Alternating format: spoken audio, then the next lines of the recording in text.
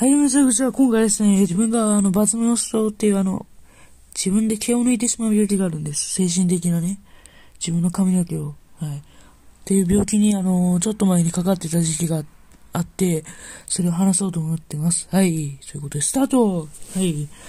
まずどういう病気かというと、まあ、先ほどもまあ、軽く説明しましたけども、まあ、自分で毛を抜いてしまう、あの、毛を抜くのが気持ちいいんですね。快感みたいになって、やめられなくなっちゃうわけですね。はい。うん。まあ自分はもう、お医者さんとかに見てもらわないで、まあ相談とかしたんですけど、まあお医者さんとかには相談せずに、自然に治したって感じですね。はい。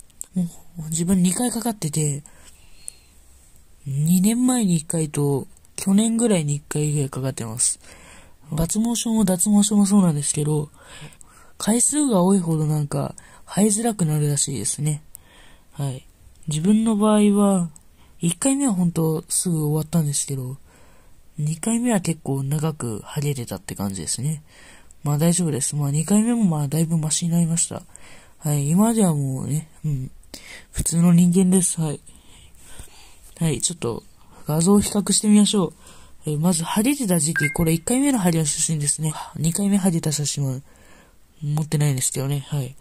で、今これね、これ、今日撮った写真ですね。これすごくないですかこれ。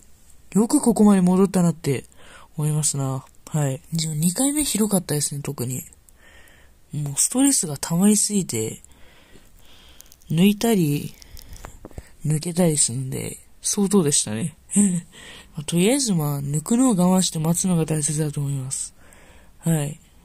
自分で気にしてたら帰ってストレスになっちゃうんで、忘れて楽しいことをやっといた方がいいと思います。はい。病院とか行ったら飲み薬とか出してくれ、くれると思いますんで、はい。それで治るのを待つのもありかなって思ってます。はい。ということで、さらー